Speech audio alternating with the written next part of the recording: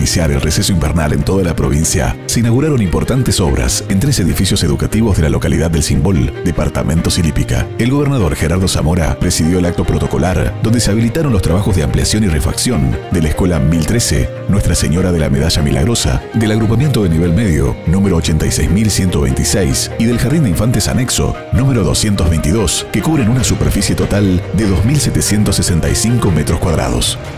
Durante la ceremonia, el mandatario anunció la ejecución de un proyecto para llevar agua potable a 400 familias. Además, entregó viviendas sociales a 16 familias de la zona. La provincia crece. Gobierno de Santiago del Estero.